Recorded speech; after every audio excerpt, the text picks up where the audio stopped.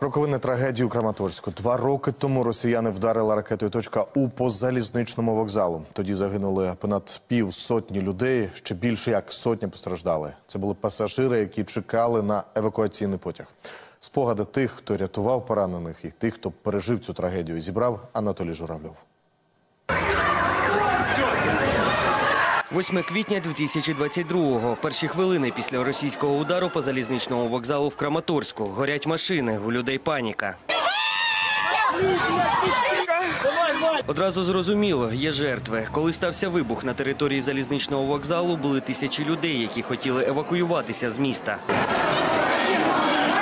Рятувальники, медики, волонтери, військові всі кинулися допомагати пораненим. Дзвінків було дуже багато. Люди кричали, люди е, просили допомогти.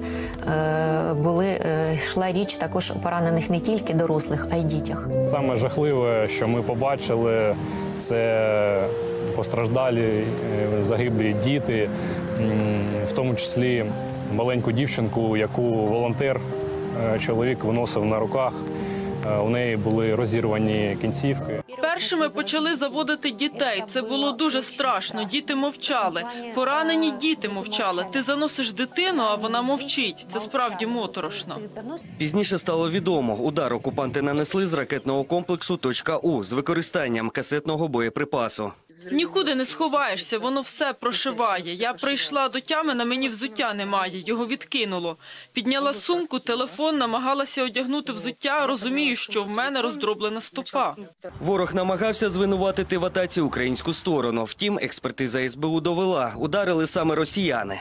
Завдяки низці досліджень траєкторії польоту ракети та аналізу інших аспектів вдалося встановити, що удар було здійснено з території Донецької області, яка ще з 2014 року перебуває під тимчасовою окупацією РФ. За інформацією СБУ, декілька комплексів із точкою У розміщені на окупованих територіях Донбасу та використовуються загарбниками Нині на залізничному вокзалі у Краматорську є пам'ятний камінь про події квітня 22-го. На його місці планують встановити меморіал. Та терористична атака росіян забрала життя 61 людини. Ще 121 дістала поранення.